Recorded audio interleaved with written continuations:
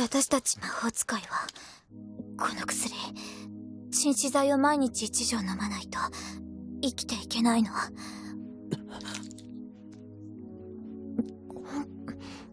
これを飲まずにいると30時間で皮膚が裂けて全身から血が噴き出す。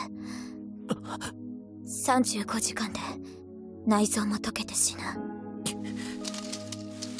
これで薬は残り10個。2人であと5日分。この薬が私たちの命そのものなの。ギリギリまで飲むのを我慢していたんだ。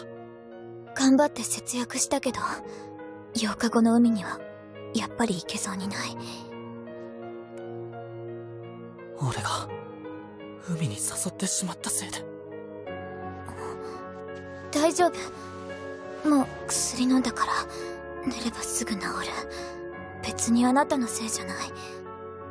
見たかったの海を。なんだか昔。すごく恋焦がれていた気がするから。